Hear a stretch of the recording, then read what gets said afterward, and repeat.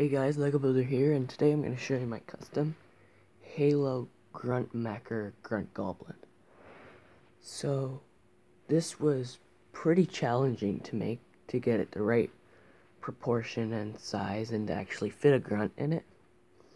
But, it's got the needler right there with the spikes and some detailing around it.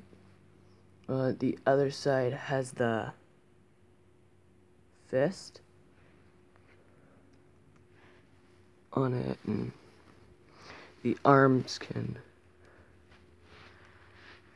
move and they're on ball joints. That's both of them. Uh, same with the legs. They're built the same way. Ball joints.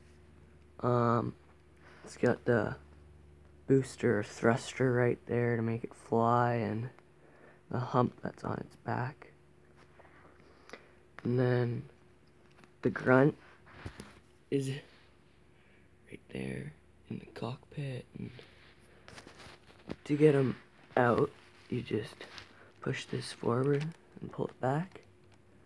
And then he just comes out like that bunch of little flaps that move on the side, but that's just for design. Um, here's the front, side, back, and then the other side.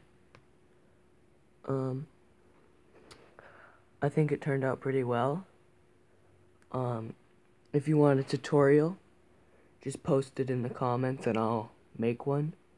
But yeah, that's pretty much all. Please like, subscribe, and see you in the next video.